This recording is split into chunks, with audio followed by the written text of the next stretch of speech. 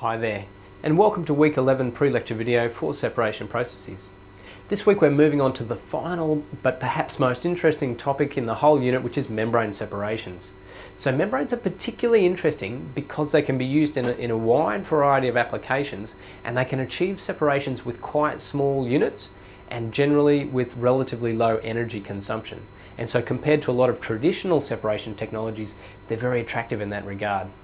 They're not suitable for all applications, however, but in the past that was usually because we didn't have suitable membrane materials for certain applications. A lot of people are doing research in developing new membrane materials, and as a result of that, new membranes are becoming available all the time. And so the range of applications for membrane separations is increasing. In this unit in particular, we're going to look at two particular types of membrane, uh, membrane separations.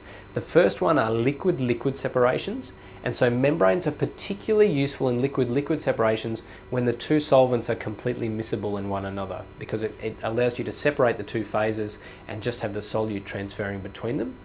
The second application of membranes that we're going to look at in this unit are gas separations. So uh, within gas separations there's a very wide range of, of other topics, but in particular we'll look at small gas separations, for, for example methane, CO2, oxygen and nitrogen, and the other one we'll consider are alkane-alkene separations, which are a particular interest in the petrochemical industry.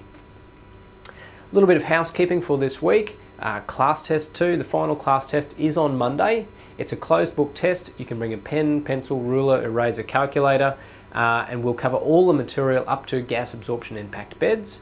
Uh, and as usual, we'll try and mark those tests and get them back to you within uh, 48 hours. That's it for this, uh, for this pre-lecture video, and I look forward to seeing you in class.